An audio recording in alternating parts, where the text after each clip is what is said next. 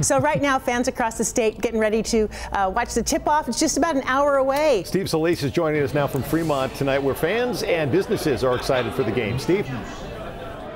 Yeah, Greg Joyce, good evening. We are actually outside the Dock Sports Bar and Grill. This is where typically fans and alumni of Gonzaga gather to watch any game. But this game is much different. This is for the national title and a chance to become the first undefeated team in 45 years to win that title.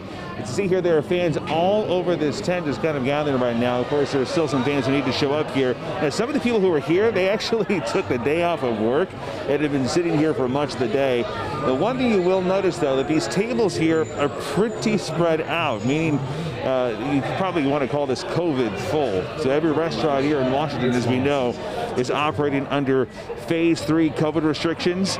Sarah Peterson, actually, her family owns the Dock Sports Bar and Grill, and she explained to us how they are working to keep Zags fans safe from COVID-19. We've followed all of the recommended guidelines in terms of social distancing, tables six feet apart. Um, even though we erected the tent outside, we've put only two sides on that and we've left two sides of open airflow to ensure that we've got um, a nice airflow happening out there so that it is truly an outdoor space.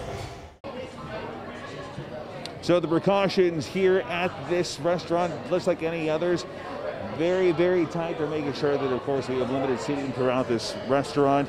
They know that this place is going to fill up, and we see people in line trying to get out into this place. They have to be checked in uh, by staff before they do come in. Now the fans who are gathered here hope the Bulldogs can finish this season undefeated.